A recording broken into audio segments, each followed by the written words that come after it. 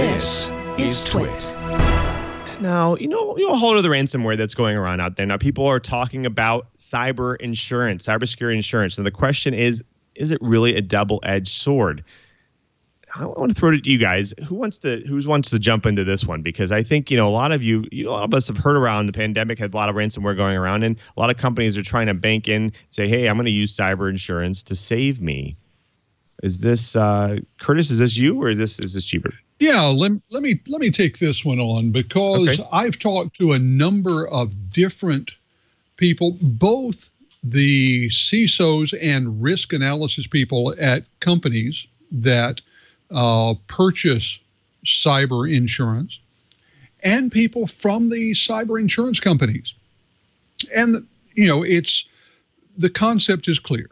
It's treating the risks of your IT and in some cases OT, but, but mainly IT resources, just like any other resource. So, you know, your data, your application delivery chain, all of this is a resource just like your building, your furniture, things like that. And so, if they can be damaged, if they can have an impact on your business, then you can insure against that risk. It works well, but there are, have been a couple of, we'll call them side effects, one that's not very good and one that's quite good. Now, let's talk about the not good one first.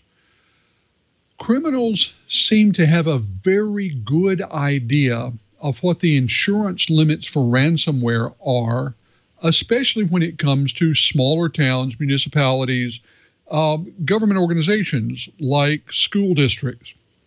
And that's why, for example, in 2019, we saw a number of smaller towns in Florida and Texas, especially, hit with ransomware attacks where the ransom that was demanded came in right at or just under what their protection limit was from cyber insurance. And in those cases, the municipality or the school system would say, sure, I'll pay it because I know I can turn right around and be reimbursed from my insurance policy. So in this case, we had the sort of thing that was incenting ransomware at a certain level. You know, these did not incent ransomware that was a $5 million ransom because that was more than the the policy limit. But there were lots of, you know, 10,000, 15, 20,000 dollar demands because they knew what the limits were.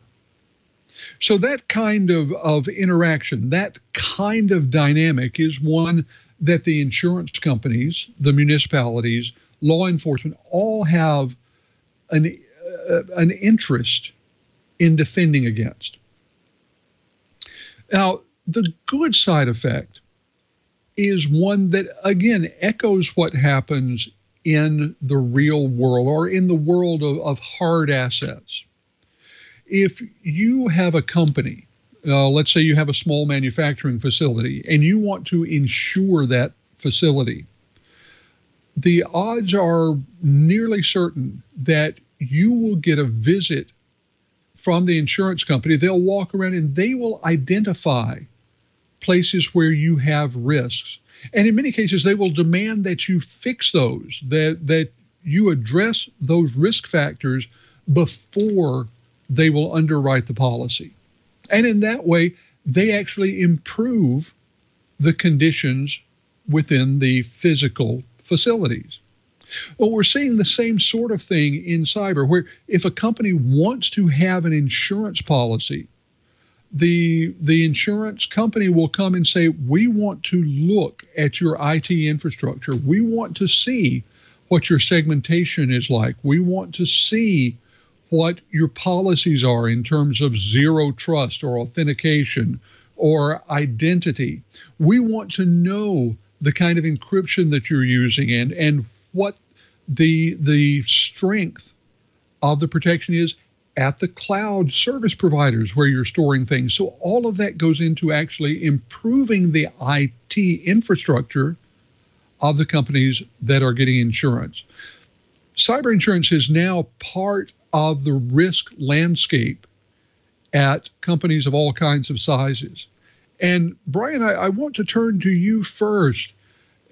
Is this something that that you think we really should have had for for years? Do you, do you think this might have had a positive impact on some of the companies that have been hit by major incidents in the past decade or so? Well, obviously, we're, we're talking about people learning from their mistakes. I'm going to go back in history, back into the 70s, and set my Wayback Machine because Mr. Peabody's here. And I'm going to say, do you remember Banacek? You know, it was a great show about a private eye that went to go and find out about insurance issues, mostly insurance fraud we need, I think, in our industry, the equivalent of Banacek for cybersecurity. You know, I, I put it in the same category as arson. If we were just going to insure an infrastructure, a building for arson, obviously, this now, obviously, people need to go and work with the insurance companies to make sure there are things like sprinklers or fire suppression or safe electrical systems and things like that that people aren't using um, extension cords improperly it's only really just starting to happen in the world of IT. We've got way too many people that it's I got a brother-in-law with mad skills and that's fine. Um, but the problem is we we have people going in that say they have the skills. They've got a great resume, but they're not got the experience. They don't have the certification. I, am not even sure I'd like the word certification, but they have the experience to go and secure their systems. Um, it's really not happening. And it needs to happen. The insurance companies, I think, need to get involved because they're hemorrhaging money due to ransomware. And it's just got to slow down. It's got to stop eventually. We got to start removing the low hanging fruit. And I think that's going to happen over time. But we need the education, we need people with the experience. And I don't know. It's it something's got to happen eventually. Lou, you know, there's a lot of interesting things happening. What are you seeing? You know, the interesting thing here, I, I was talking to Curtis in the back channel here. I mean, one thing that a lot of these cyber insurance companies don't cover are things like, you know, BEX scams, like business email compromise scams.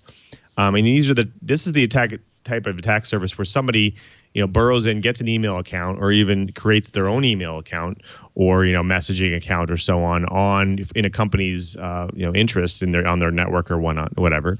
And they start sending out uh, data and, and, communications in as if they were the company. Uh, and it could cause problems. Like they could you know they can exploit the company and they can um, you know and, and exploitation can sometimes be even worse for a company uh, or you know leaking their data that way um, than sometimes ransomware because again it, you know they can destroy the company's um, you know trust trust in the company and so on and so forth. And so uh, you know these types of insurance programs they don't cover all the different attack surfaces they're getting more sophisticated. Obviously DDoS attacks and other things they can cover and ransomware but some of the other ones that that are harder to track and harder to audit are are the ones that cyber insurance companies are not covering and so the you know being able to pay for services that can help with that. Again, we just talked about advanced threat protection. I mean, obviously this is part of that.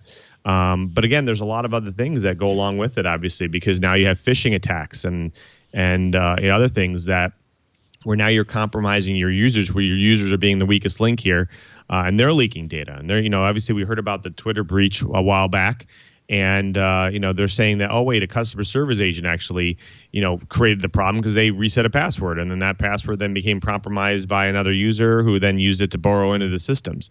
Well okay you know is that covered?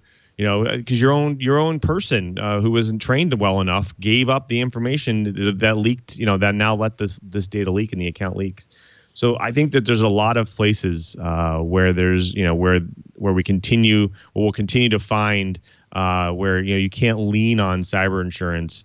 Uh, it, it could be like like we said in the title, it could be a double-edged sword. You could be leaning on it too much when in fact there's a lot hiding under the covers. Curtis.